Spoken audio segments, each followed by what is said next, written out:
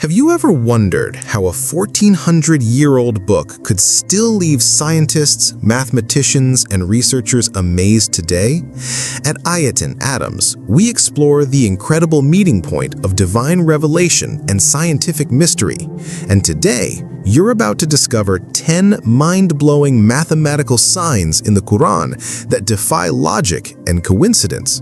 These are not just numbers, they're powerful reminders of a higher order behind the universe. Let's uncover the mathematical miracles in the Quran, and you might never look at it the same way again. The Quran isn't just a book of guidance, it also holds deep mathematical patterns that have puzzled scholars for centuries. These aren't random numbers, they serve as clear signs of divine intelligence and perfect design.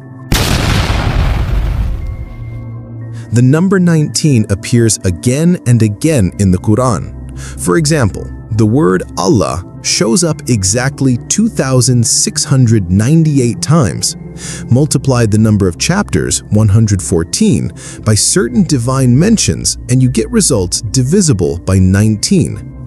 Even the first verse, Bismillah ir-Rahman ir-Rahim, contains 19 letters, the entire Quran has 6,346 verses, including unnumbered ones.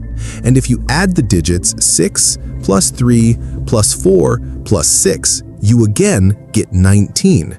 That's not coincidence. That's divine coding. The golden ratio, or 1.618, is seen in nature, art, and the human body. Shockingly, this ratio appears in the Quran too. If you divide the total verses 6,236 by the chapters 114, then use that number to calculate deeper verse patterns, you arrive at 382, a number that matches the total verses in both the first and last 17 surahs. These surahs focus on core beliefs, like the oneness of God and the Day of Judgment. Surah Al-Mulk, the 67th chapter, has 30 verses. It's known for protecting the reciter from grave punishment. When split into two halves, verses 1 to 15 and 16 to 30, each half contains exactly 140 words.